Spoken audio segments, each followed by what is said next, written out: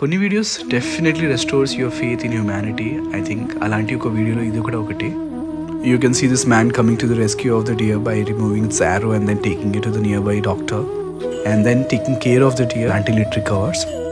But also on Chudachu, the deer keeps looking out to the wild and waits for the family.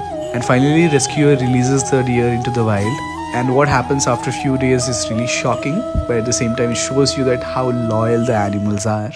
The deer comes back to the rescue with the entire family and introduces him to the family, and they kept coming back every day.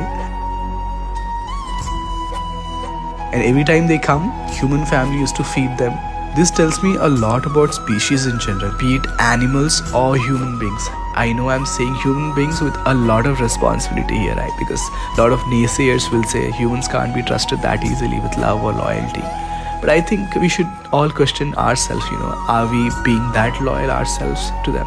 Are we being that loving? Have you have you really surrendered in love? If you really surrender, you know, I think there's nothing more magical than that. Yeah.